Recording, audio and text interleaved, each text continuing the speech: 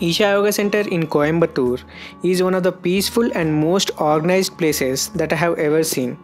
If you are planning to stay inside the center for few days, this video is for you.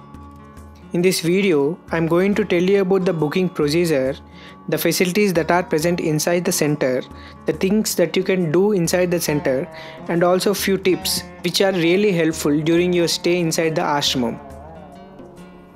Isha started hosting guests to stay inside the center recently from couple of years.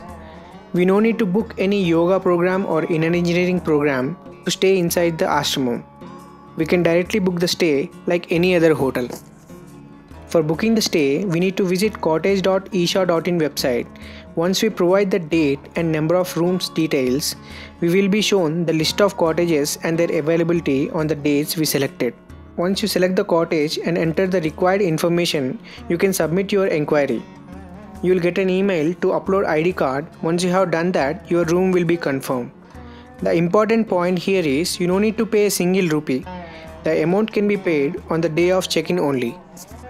If you want to cancel your plan, you can just drop a mail to them with your booking ID that you want to cancel your booking. They won't charge a single rupee for cancelling the booking. If you want to change your dates, you can drop a mail to them with your new dates and current booking ID. They will check for the availability of the rooms for your new dates and reply to you whether your request can be processed or not. The price of the rooms is very cheap as of now, which is on June 2nd, 2023, the price for non-AC room for 2 people is 990 rupees only, which includes 2 times meals also. Now let's discuss about the categories of the room. Isha Yoga Center is very big. It is spread across 150 to 200 acres and these cottages are located at different places inside the ashram. As of now, Isha has 5 categories. Nalanda, Nadi, Alayam, Brahmaputra and Shivapadam. Out of these, Nalanda, Nadi, Alayam are present very near to Dhyanalinga, which is the main attraction. Brahmaputra and Shivapadam are located little far away from Dhyanalinga. Brahmaputra is located around 1 to 1.5 kilometers from Dhyanalinga and Shivapadam cottages are located around 2 to 3 kilometers from Dhyanalinga. Isha has the facility of battery cars which you can use to commute inside ashram from cottages to Dhyanalinga, Suryakund, Chandrakund, Bhiksha Hall and Welcome Point. If you are going to stay in Brahmaputra, you can use these battery cars to commute from cottages to ashram. If you are staying in Shivapadam cottages, you cannot use this battery car facility because Shivapadam cottages are located little far from ashram. Isha provides bus service every 30 minutes which you can use to go inside the ashram from the cottages. Now let's discuss about the facilities inside Isha ashram.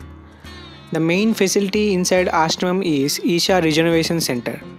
This Isha Regeneration Center is like Ayurvedic hospital where you can get treatment for any kind of health issue you have.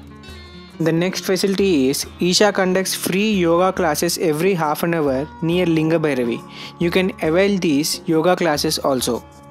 The ashram also has two stores where you can buy all kind of Isha products. When you stay inside ashramam, you should not miss Nada Aradhana which happens twice a day in Dhyanalinga for 20 minutes at 11:50 am and 5:50 pm. When you stay in Isha, you can visit Dhyanalinga, Lingabhairavi, Suryakund, Chandrakund and Adiyogi statue without any restrictions. Now let's discuss about food options inside ashramam. Isha provides free meals in Bhiksha Hall for people who are staying inside ashramam. The Bhiksha Hall timings are from morning 10 o'clock to 11:30 and evening 7 o'clock to 8:30. The meals in Bhiksha Hall are served for free using the donations. Along with this, there is a small cafeteria present at the Dhyanalinga entrance point where the food is really tasty. There is also a small restaurant at the main entrance of Isha Center where you can get all types of vegetarian food. Now I have few tips regarding cottage booking and stay. Plan your stay so that you book the cottage either in Nalanda, Nadi or Alayam cottages because they are very near to the main ashramam. If these three cottages are not available for your dates, try to book in Brahmaputra because this Brahmaputra cottage has a very good view of Vellangiri hills and it is also not that much far from main ashram. Try to avoid booking in Shivapadam cottages because they are very far and you need to wait for the bus every time you want to go inside ashram.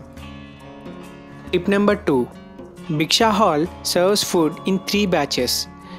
During first 2 batches alone they will come and serve food to you. In third batch we need to stand in queue and get our food. So try to be at Bhiksha Hall during the first 2 batches timings which is 9:50 am and 10:30 am during morning and 6:50 pm and 7:30 pm during evening. So plan a visit to this peaceful place. I'm definitely sure that you will be amazed how well organized this ashram is which is majorly running on the concept of volunteering. I'll come back with another video about another place. Until then, happy traveling.